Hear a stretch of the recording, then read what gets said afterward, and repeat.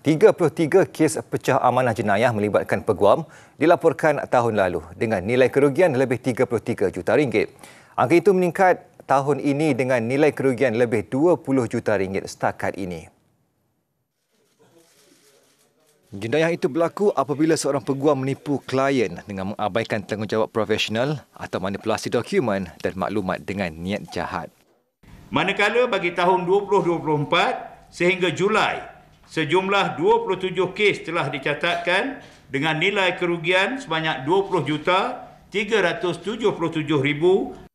Antara kes disiasat laporan lelaki berusia 72 tahun pada 8 Ogos yang mendakwa ditipu sebuah firma guaman di ibu negara membabitkan urusan jualan tanah RM140,000.